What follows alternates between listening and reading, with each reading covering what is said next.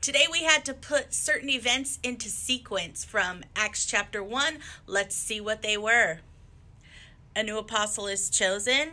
Jesus says to wait for a promise. Jesus was taken up out of their sight. And why do you stand gazing up into heaven?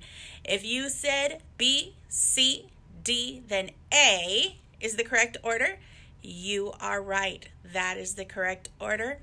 I will catch you back here tomorrow for another question.